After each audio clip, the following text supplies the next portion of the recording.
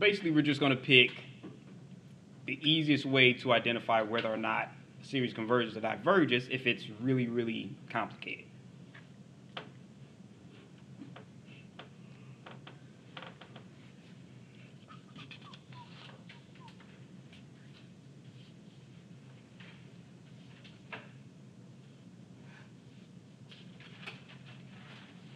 All right, so let's say, for example, anyone still writing? All right.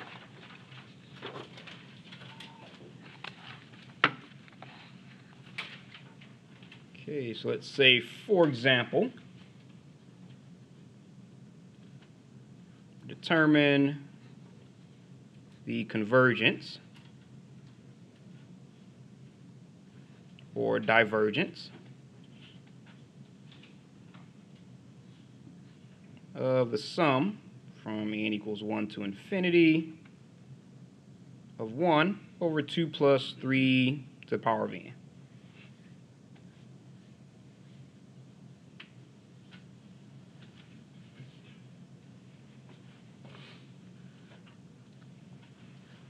Okay. Now with this one, it looks really similar to this convergent series. Let's say n equals 1 to infinity of 1 over 2 plus 3n closely resembles sum from n equals 1 to infinity of 1 over 3 to the power n. Like I said, which is a convergent geometric series.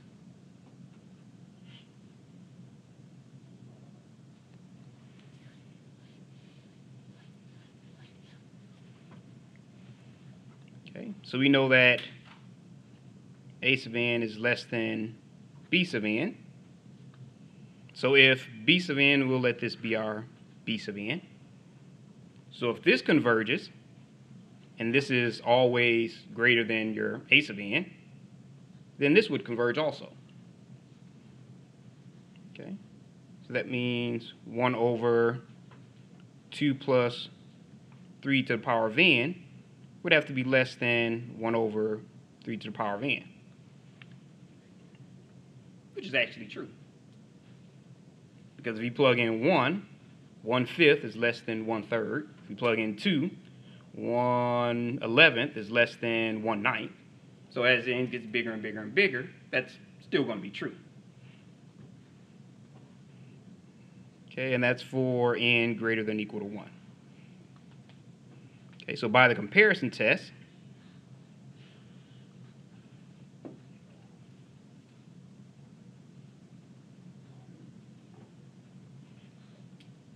the sum from n equals 1 to infinity of 1 over 2 plus 3 to the n converges.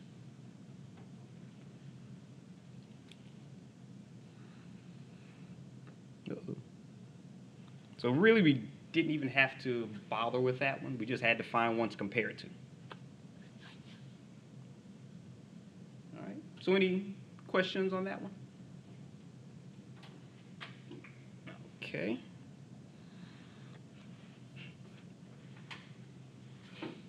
Let's say if we have, say we wanted to determine the convergence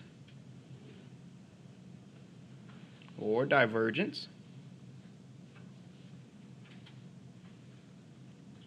of the sum from n equals 1 to infinity of 1 over 2 plus square root of n.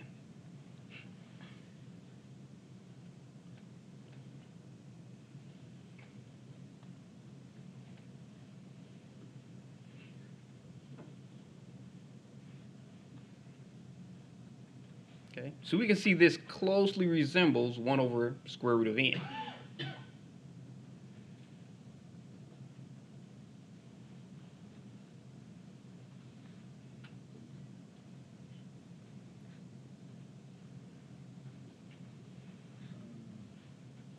From n equals 1 to infinity of 1 over square root of n, which is just from n equals 1 to infinity 1 over n to the 1 half power. Okay. Which, if you look at the p series, that's less than 1, so you know less than equal to 1, so you know it diverges. So it's a divergent p series. And we'll let that be our b sub n. Okay, so if we decided to make our 1 over 2 plus square root of n less than 1 over n to the 1 half, this, oh, sure. There you go. This actually doesn't tell us anything, only because, remember, our a sub n has to be less than our b sub n. So this is our b sub n, and we know this diverges, that means at some point, we don't even need this because we don't know. There we go. That means your b sub n at some point is going to just diverge up. And if a sub n is less than that, we don't know if it's diverging or converging or anything. So this really doesn't help us. So we have to pick another method. Yeah, not another method, but really just another comparison. Oh. So when the first, sometimes your first comparison won't work, so you just pick another comparison. Okay, so since we cannot determine uh, behavior from, n equals 1 to infinity of 1 over n to the 1 half, pick another comparison.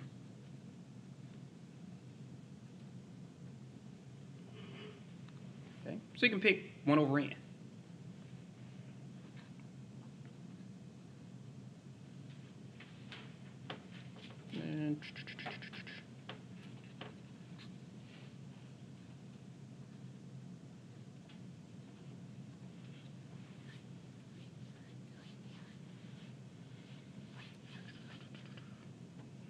All right, actually, we can make this our a sub n.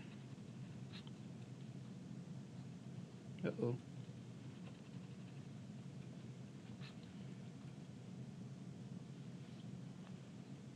And our b sub n can equal 1 over 2 plus, uh-oh, square root of n.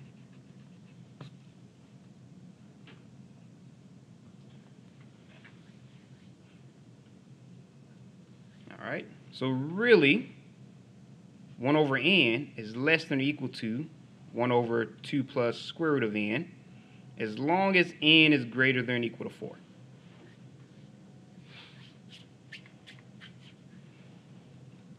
Okay, so we know that this diverges from P series because n is equal to 1.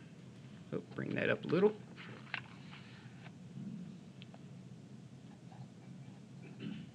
So that's a divergent P series. Or if you want to call a harmonic series, you can. Okay, so if this diverges and this is always less than that one, then that means this one would have to diverge also. So that means from n equals 1 to infinity of 1 over 2 plus square root of n diverges by the comparison test.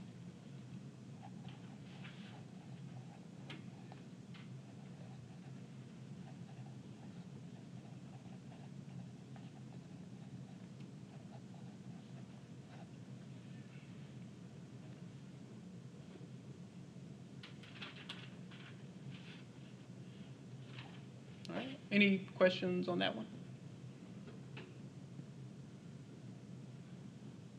All right.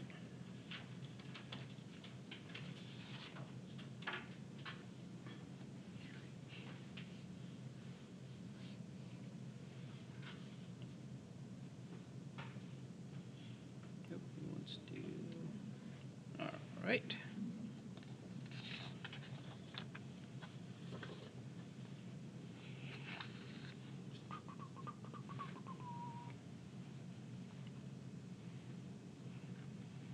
Okay, so let's see if we have limit comparison test. Gotta give the actual name since these are a little bit different.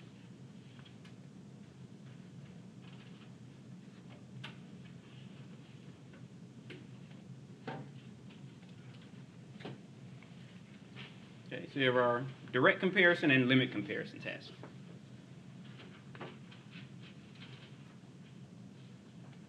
Okay, so suppose that our first series is greater than 0 and our second series is greater than 0. And the limit as n approaches infinity,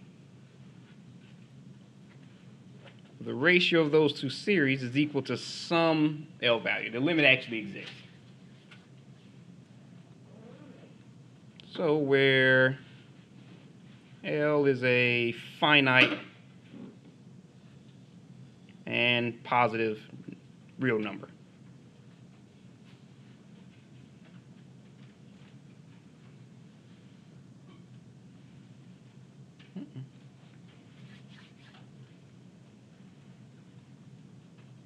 Okay, so then the two series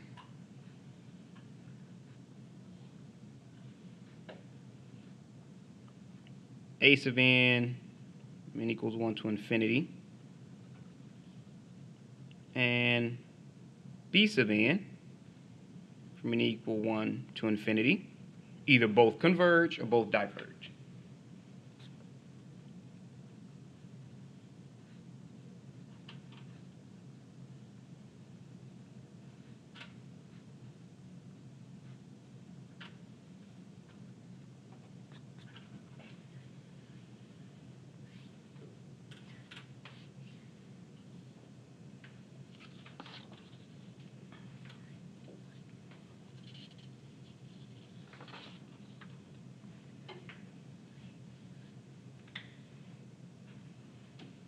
All right, so let's say, for example,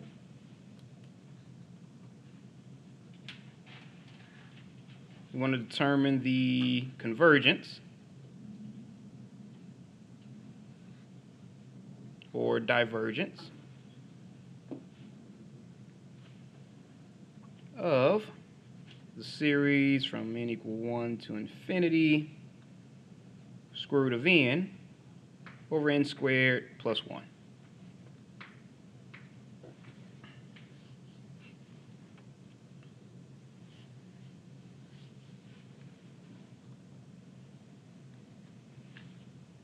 Okay, so with limit comparison, well, make sure I specify that. Using limit comparison.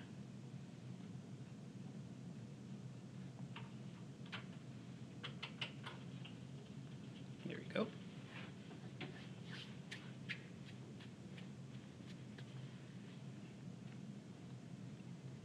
So for our limit comparison, just a quick note. You want to just focus on the two leading terms of your numerator and denominator. So, and that kind of helps you minimize exactly all the guesswork.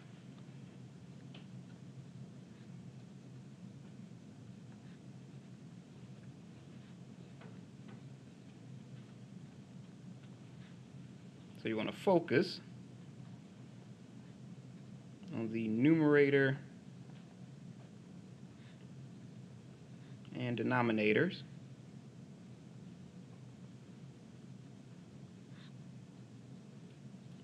Leading terms.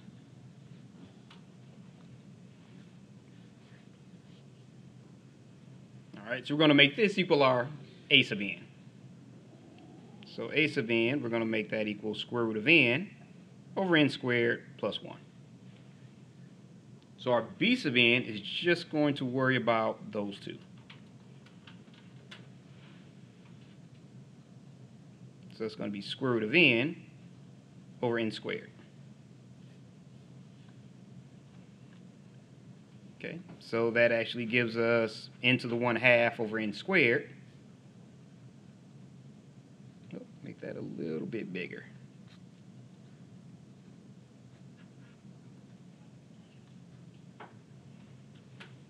Okay, Which means if we go ahead and subtract our 1 half there,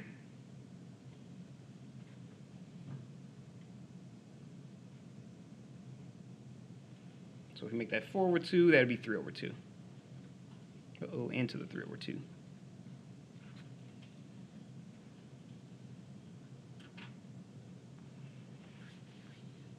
Okay, so we have our sum.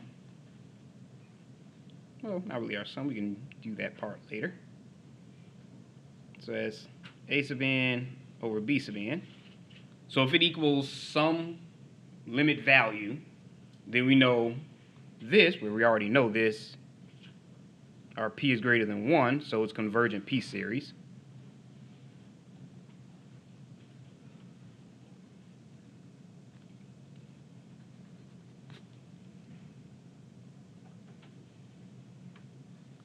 So if we can find the limit of this, that pretty much the ratio, then that's going to show either the limit exists, that means they both converge or they both diverge.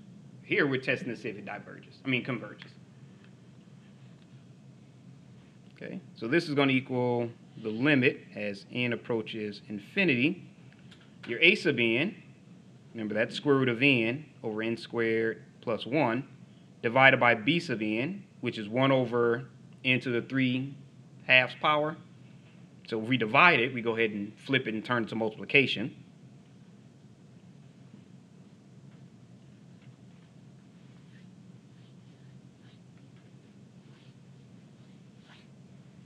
Okay, so that ends up giving us the limit as n approaches infinity into the 3 halves. I'll go ahead and do that on the side into the 3 halves plus, oh, plus 1 half.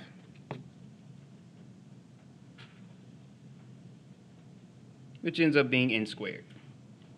So this ends up being, actually I'll put it next to it since we have a little simplifying to do. The limit of n squared over n squared plus 1 as n approaches infinity. So if you want, you can use L'Hopital's rule, or you can divide everything by n squared. Both will work. So have n squared over n squared as n approaches infinity of n squared over n squared plus 1 over n squared. Uh-oh, clean that up a little. That's still a little bit messy looking. 1 over n squared. Okay, which ends up giving us the limit as n approaches infinity of 1 over 1 plus 1 over n squared. Which means that's going to eventually approach 0, which gives us 1. Okay. So by the limit comparison test, both series converge.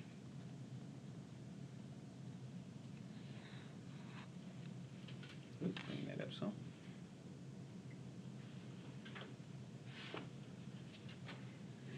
All right. So any questions on that one?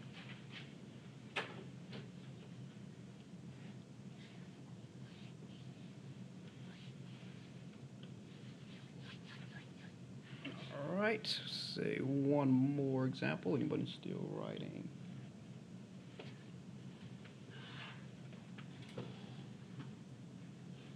All right. Looks like everyone's done.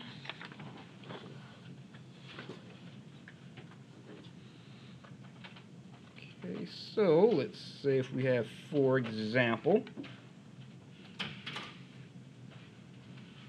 determine the convergence or divergence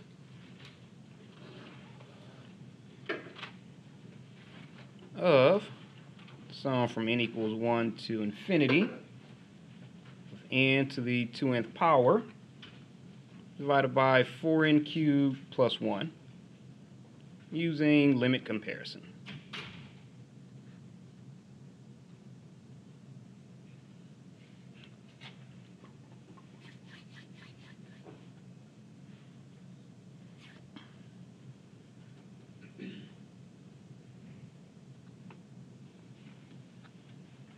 Okay.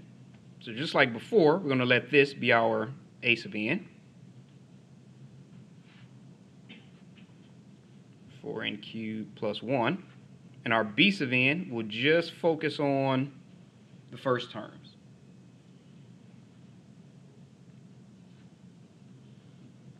So that would be n times 2 to the power of n over 4n cubed, which actually simplifies to those ends cancel out, well, at least one of them will. 2 to the power of n, well, yeah, I could leave it like that, over 4n squared. Actually, we really don't need the 4.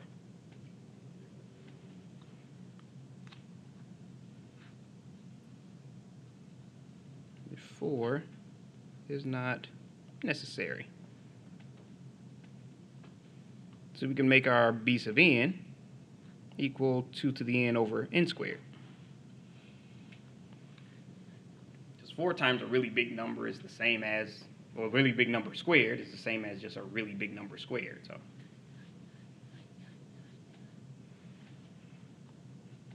All right, so we know the limit a sub n over b sub n as n approaches infinity. Uh -oh.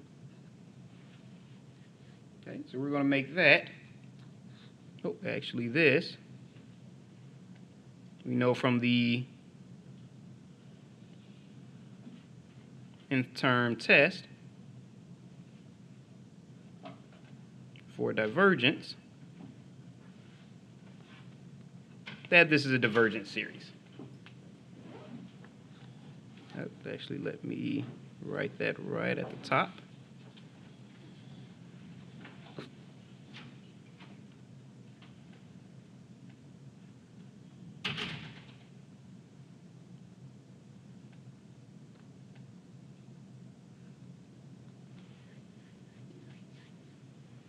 Okay, so that means we're going to test and see if this comes out to be a limit, an actual limit value, then we know that they both diverge. Okay, so this ends up being the limit as n approaches infinity of your a sub n, which is n times 2 to the power of n over 4n to the third plus 1, divided by your b sub n, which we can go ahead and just flip it. So that would be n squared over 2 to the n. Okay, so our 2 to the n's would cancel out. So we end up with the limit as n approaches infinity of n to the third over 4n to the third plus 1. Okay, so if we go ahead and just divide everything by n to the third, the limit as n approaches infinity of n to the third over n to the third divided by 4n to the third over n to the third plus 1 over n to the third. Is the limit as n approaches infinity of 1 over 4 plus 1 over n to the third. Clean that up a little bit. Okay, so we know this will eventually reach 0. So this is just 1 4. Okay. So that means since that diverged, that means both diverge. By the limit comparison test,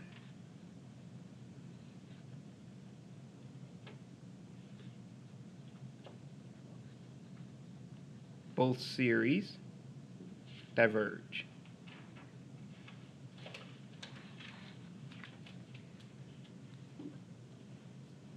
All right. So any questions on that one?